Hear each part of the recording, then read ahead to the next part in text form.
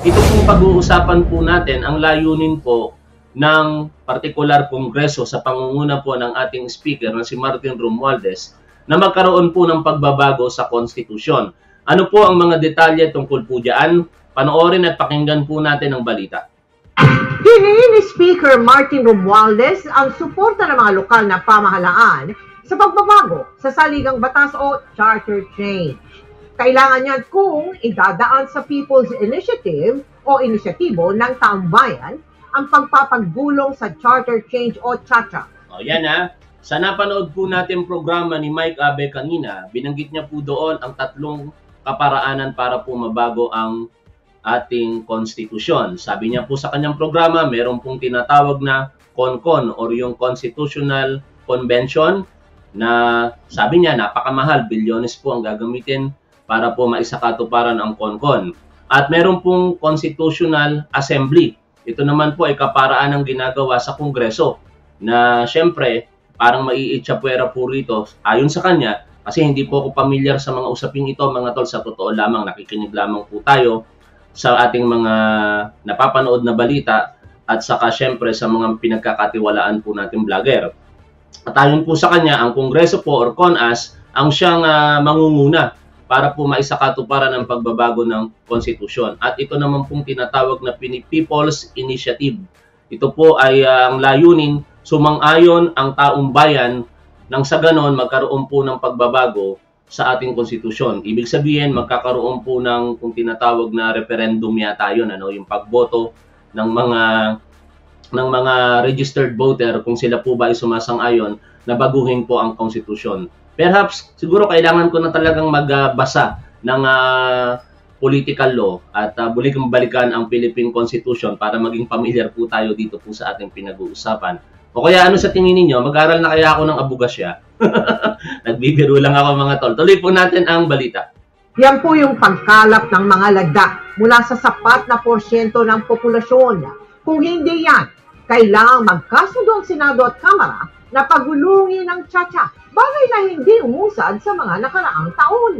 Dadaan ng Kamara ang paghingi ng tulong sa mga lokal na pamahalaan sa tulong naman ng DILG na nasa ilalim ng ehekutibo. Nauna nang sinabi ng Pangulo na paborito sa pag-aaral kung anong bahagi ng konstitusyon ang pwedeng baguhin. Yan. Okay, bago natin puntahan ang pahayag ng ating mahal na Pangulong Bongbong Marcos sa isang media interview kahapon bago po siya lumipad papuntang Japan. E basahin po natin ito pong particulars ng balita. Romualdez urges LGUs or local government units to support charter change. Published December 15, 2023, 9.04 in the evening. Sabi po dito, as a push for charter change through a people's initiative, House Speaker Martin Romualdez called on local officials to back the proposal to amend the 1987 Constitution. Ayon po kay Speaker Martin Romualdez, both the Congress and the LGU will be working together for the betterment of the Filipino people by introducing a new constitution. Ito ang pinaka-inaantay po nating dapat mangyari. We are hoping na ganito nga talaga ang mangyari na kung meron pong pagbabago sa konstitusyon, hindi po dahil sinusulong ng mga nakaupo sa kasalukuyang panahon ang kanilang political ambitions kung hindi kung ano po talaga ang makakatulong para po sa ikabubuti ng sambayan ng Pilipino. Siyempre, tayong mga tagahanga po ng ating mahal na Pangulong Bongbong Marcos, ninanais po natin ang isang Pangulo na katulad po niya na manatili sa posisyon beyond 2028. Pero dapat ang isa ka ang uh, makita po natin hindi lamang yung mga kagustuhan natin kung hindi kung ano talaga ang makakabuti para sa sambayan ng Pilipino. Yan ay dapat pagkaisahan ng mga Pilipino sa pamamagitan ng isang uh, pagsang-ayon ng perhaps majority kasi nasa isang demokrasyang bansa po tayo at ang bawat usapin dapat ang nananalo o nananaig ay ang gusto po ng nakakarami basta ito po ay tama at dapat. Sabi po dito, under the 1987 Constitution, any amendment or revision of the Constitution may be proposed Bye. Oh, ito na pala yung mga paliwanag na napanood ko kanina kay Mike Abe. Sabi po rito, the Congress upon a vote of three-fourths of all its members. Ibig sabihin, ito yung tinatawag na Constituent Assembly. Hindi ako magaling sa math, pero kung ang 312, ang 3 fourths nito, eh perhaps nandiyan si Sir Benji Contreras, isang engineer, baka nasa 250 plus, ano? Kung hindi ako nagkakamali, 3 fourths. Kayo na lamang po ang uh, ang uh, mag-divide uh, ng 25% siguro ng uh, 300 plus na kongresista ang dapat sumang-ayon dito po kapag ka ang pinag-uusapan ay Constituent Assembly. Ikalawa, yung tinatawag po na Constitutional Convention during which Congress may by a vote of two-thirds of all its members call a constitutional convention or by a majority vote of all its members submit to the electorate the question of calling such a convention. Kung doon sa una, three-fourths ng mga miyembro, dito naman po sa Constitutional Convention, kinakailangan lamang po ng two-thirds or majority votes mula po sa miyembro nito. Ikatlo, yung People's Initiative. Upon a petition of at least 12% of the total number of registered voters, of which every legislative district must be represented by at least 3% of the registered voters therein. Kung tayo po ay merong more than 50 million, perhaps baka 60 million na po ngayon, ang dami po ng registered voters, eh 12% po no, noon ay kailangan. O mga nasa 15 million na boto at least ang kinakailangang sumang-ayon ng mga Pilipino para po matuloy ito pong tinatawag na People's Initiatives. Mga kaparaanan pa lamang po itong pinag-uusapan natin mga tol. Pero ano ba yung partikular na dapat baguhin sa ating konstitusyon? Ako kung tatanungin ninyo, walang dapat baguhin sa Bill of Rights. Siyempre, yung Article 3, Section 1 to 22 ng natin ng ating 1987 Constitution, walang dab- walang dapat baguhin diyan. Bagkus dapat pang dagdagan 'yan. May maraming mga bagong batas ngayon na maaaring i-incorporate sa Bill of Rights pero hindi ko nasasambitin pa dito kasi hindi naman ako isang abogado at baka masoplak tayo ng mga tunay na abogado. Tulay po tayo.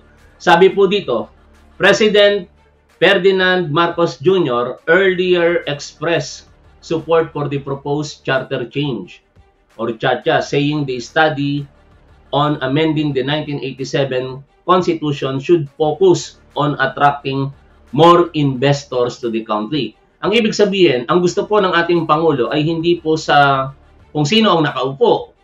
Kung ito po ba ay dapat palawigin, bigyan ng ikalawang termino, kung hindi ang nilalayon po ng ating Pangulo, mapalago ang ating ekonomiya. That's why yung mga provision sa Constitution na medyo nagpapahirap, particular sa mga foreign investor, siguro dapat mabago.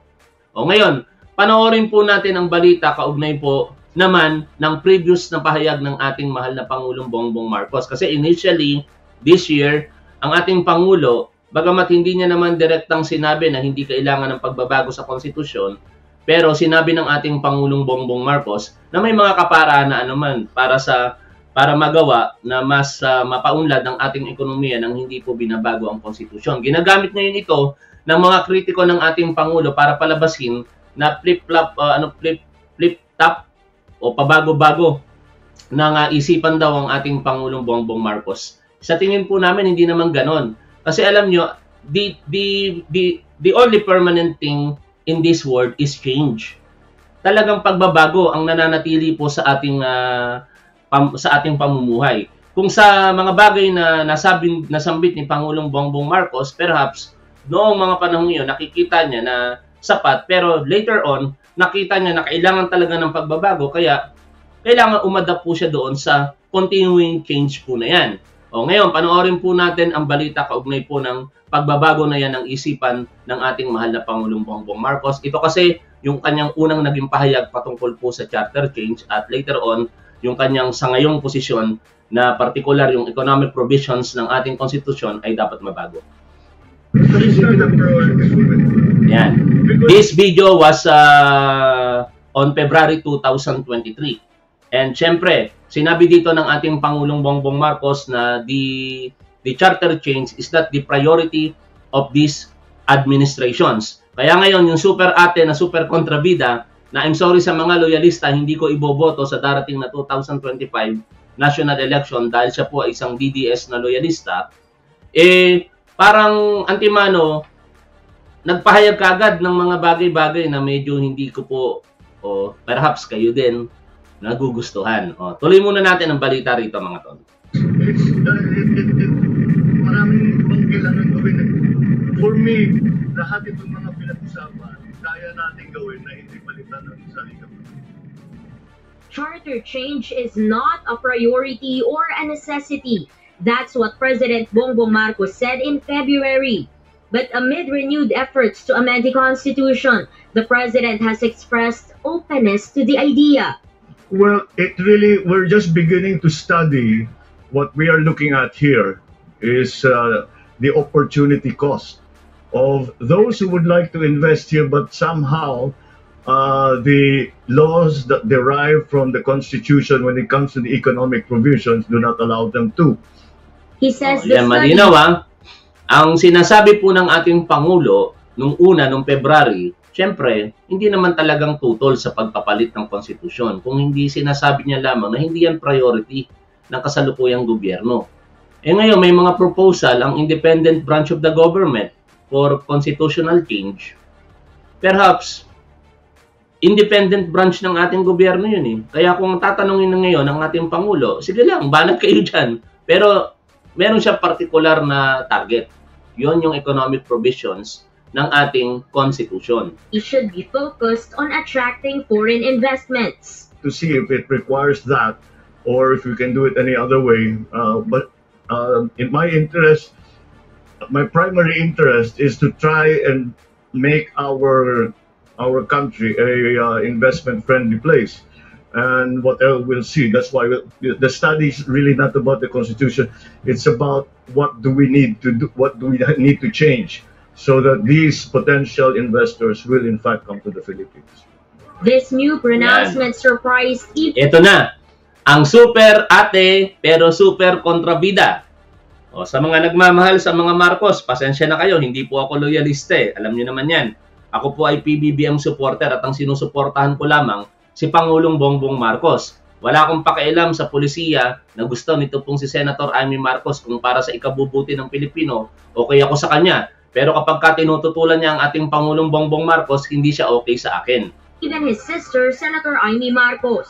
Tatanungin ko kung ano exactly sinabi, pero nabigla ako kasi ang usapin nga namin, eh talagang ah, pang ah, pangligoy ito sa ating kinakailangan tutukan, which is talaga ang kabuhayan ng tao, ang presyo ng bigat, ang ah, pamumuhay at trabaho. Lahat naman ng sinasabi nitong si Senator Amy Marcos ay tinututukan ng ating mahal na Pangulong Bongbong Marcos. Yung pagkakabuti para sa bansang Pilipinas, kabuhayan ng mga Pilipino, ang kinabukasan ng bansa po natin at ng mga kababayan po natin Pilipino, lahat po yan tinutugunan ng ating mahal na Pangulong Bongbong Marcos. Hindi na kailangan ipaalala pa nitong si Senator Amy Marcos o maliban na lamang kung hindi niya po alam ang ginagawa ng kanyang kapatid. Eh, marahil magpapaalala siya. Pero kung tayo po, katulad natin, tutok po tayo sa ginagawa ng ating Pangulong Bongbong Marcos, ang mga sinasabi po na yan ni Senator Amy Marcos ay ginagawa na po ng ating Pangulong Bongbong Marcos. The senator says she agrees changes have to be made to the 1987 Constitution, which was written after the ouster of her father, Ferdinand E. Marcos.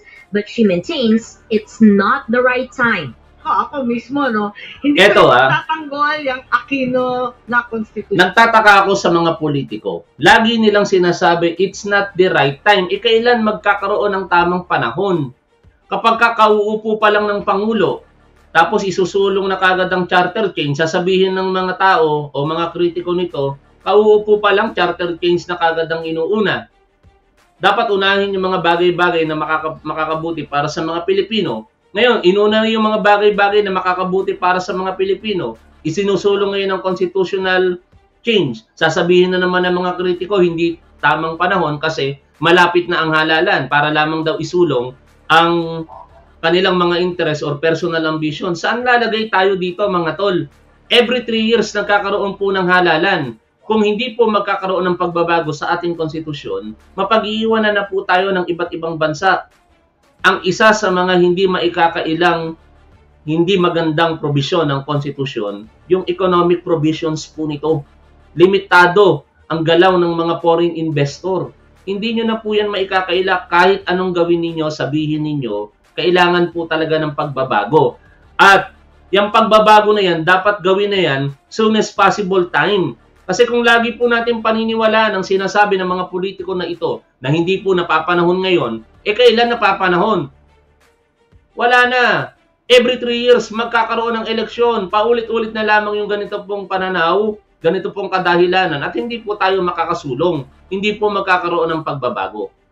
Kaya ako, sa personal kong opinion, dapat magkaroon po talaga ng charter change particular sa economic provisions ng 1987 Constitution. Panoorin natin ngayon ng buo ang media interview ng ating mahal na Pangulong Bongbong Marcos December 15, 2023 doon po sa may inaugurations ng Poblasyon Water Treatment Plant diyan po sa Barangay Poblasyon, Muntinlupa City. Alright. Uh, good morning, um, and uh, thank you for joining us here at the uh, opening of uh, this uh, extremely important uh, water treatment plant here, plant here in uh, Mandaluyong. It will, I'm sorry, Muntinlupa, and it will uh, it will um, become part of the system that we are trying to put in place. To uh, well, the the the uh, original purpose for this was not from uh, uh, was really without El Nino in mind. Uh, but uh, it is, well, it, we have been a little bit lucky in the timing in that it has been, we will start to operate it just at the time when we will have, we will have, will begin to feel the effects of El Nino next year. And so we're very happy that uh, these facilities are already are already in place. Uh, this is one of several uh, that Maynila will be doing. And uh, Ito yung makikita uh, kung paano tinitingnan ni Pangulong Bongbong Marcos ang hindi lamang sitwasyon sa kasalukuyan, kung hindi ang possible na challenges sa hinaharap. Ang isa sa mga concern ng ating Pangulong Bongbong Marcos, syempre, ang so ang uh, climate change. Ito pong climate change, ang dulot po nito isa ay itong El Nino. Ang El Nino, Siyempre, pagtuyot ang pinag-uusapan, kakulangan po sa tubig. Kaya sa tingin po ng ating gobyerno, sa pamamagitan po ng water treatment na ito, matutugunan yung impending na challenges na yan na maaari pong ma-experience ng ating mga kababayang Pilipino dito po sa bansa, particular dito po sa Kalakang, Maynila kung saan po tayo naroroon. O ako pala kasi kayo, iba't ibang panig po ng Pilipinas kayo o sa ibang bansa naroroon. Anyway, tuloy po natin. Ito pong sinasabi ni Pangulong Bongbong Marcos hanggang sa makarating po tayo doon sa katanungan ng pagbabago para sa konstitusyon. Uh, I, I thank our private sector partners uh, for uh, coming to the fore and taking up the slack and helping us uh, with making sure that our people have a sufficient water supply. Um, as we know, uh, it is life and uh, it is uh, we cannot do without it, and therefore the adequate supply of clean water is uh, clean fresh water is extremely important. So uh, that is what we have done today. Um, now, if there's anything else, to, to... Good morning, Mr. President. Vivian Gulia from ABS-CBN. Yes. Um, has the uh, proposed 2024 budget reached your table, and when are you expected to sign it? And also, if you're supportive of uh, the push at the lower house to... Wala pa yata ang report ng BICAM. We're waiting for that. Uh, so, they're putting the finishing touches on it. Baka today, uh, or the day out, in the in the coming days. But Speaking of budget, ah, mga tol, Total, natanong kay Pangulong Bongbong Marcos, ang Department of Education, ayon sa konstitusyon, ang dapat pinakamalaki ang budget sa lahat ng departamento sa ilalim po ng ehekutibo. At maraming nagsasabi, hindi daw po bibitawan nito pong si Vice President Sara Duterte ang posisyon na yan bilang kalihim ng DepEd sapagkat juicy nga ito. Ibig sabihin, malaki po ang pondo na nandyan. Kaya Tingnan po natin. Kasi after all, it's up to the president naman sa huli kung sino po ang masusunod. Pero sa ngayon, dahil nga po tayo, napapansin na po natin yung napakaraming red flags diyan po sa Department of Education at wala pong katugunan na ginagawa dito, ang Vice Presidente, nananawagan po tayo para magbitiw bilang kalihim ito pong si Vice President Sara Duterte. Ngunit, kung hindi niya po gagawin yan, dahil wala po siyang delikadesa, eh manawagan po tayo sa publiko. Perhaps baka marinig po tayo ng ating Pangulong Bongbong Marcos na yung kanyang pinagkakatiwalaan diyan po sa Department of Education sa pananaw po ng majority of Filipino people ay hindi po nakakatugon. Hindi po katut wala po akong paniniwala at hindi po ako naniniwala nga na the most trusted institution ay ang Department of Education. At uh, ito pa ay sinasabing top performing department sa ilalim po ng ehekutibo. Pasensya na kayo. Sa ilang po nating mga manonood na guro po dyan, hindi po kayo ang binibira ko dito. Kung hindi yung departamentong pinamumunuan nito pong si Vice President Sara Duterte na sa ngayon, puro problema ang kinakaharap pero inuuna pa ng Vice Presidente po natin ang pamumulitika. Isa sa mga dapat ninyong malaman ay ito pong hindi niremit na mga dapat pong i-remit sa GSIS, sa PhilHealth, at saka sa mga lending institution including pag-ibig funds na kinaltas po sa inyo. Sa mga rank and file dyan po sa Department of Educations, kinaltasan po kayo ng inyong mga respective GSIS, loans, tapos pag-ibig PhilHealth, Ngunit yan po ay hindi napunta sa mga nabanggit na ahensya ng ating gobyerno. Ano ngayon ang magiging epekto po nito? Tulad po ng binanggit ni Sir Benji Contreras kagabi sa kanyang programa, maaaring hindi kayo makapag-loans kung kayo po ay merong previous na pagkakautang kasi hindi kayo nakakabayad.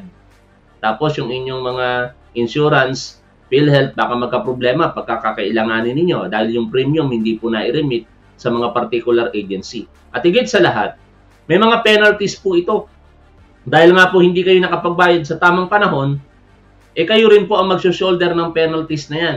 Ang sinasabi, dapat ito yung mga bagay na pinagtutuunan ng ating vice presidente at hindi yung pamumulitika sa harapan po ng publiko.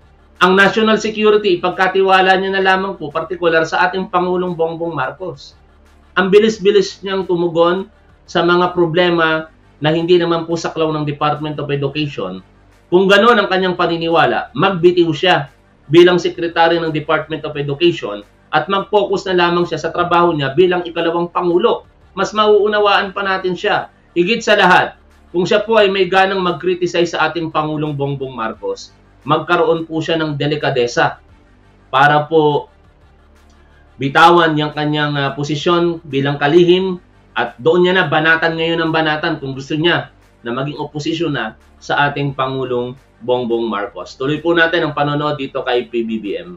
The minute uh, uh, it's uh, it is uh, um, finalized, then uh, we will immediately, of course, uh, uh, uh, pass the budget. We have been going through the consultations through the whole of the year, for that matter.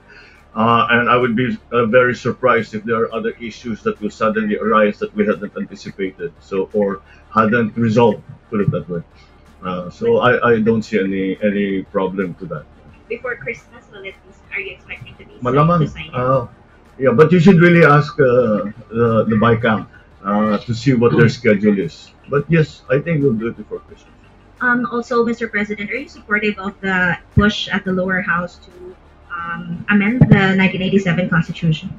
Well, uh, it really we're just beginning to study uh, because we keep talking about economic provisions that are getting in the way with uh, um, uh, with some of the potential investors that we are trying to bring to the Philippines.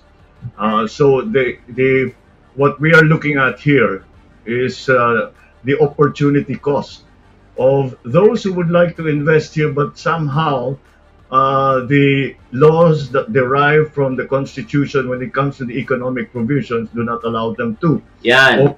Now, it makes sense kung bakit nagbago ang pananaw ng ating Pangulong Bongbong Marcos.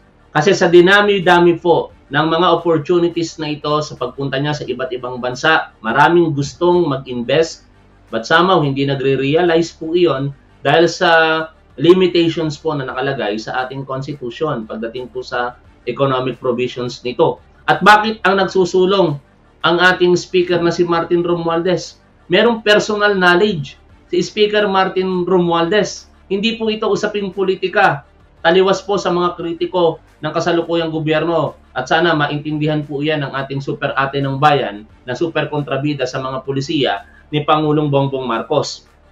It's not about politics. It's all about the experience na na kita po ng ating Pangulo at ng ating Speaker na si Martin Romualdez sa bawat pagpunta ng ating Pangulong Bongbong Marcos, laging nasa likod niya si Speaker Martin Romualdez, nakakausap nila ang mga investors na ito.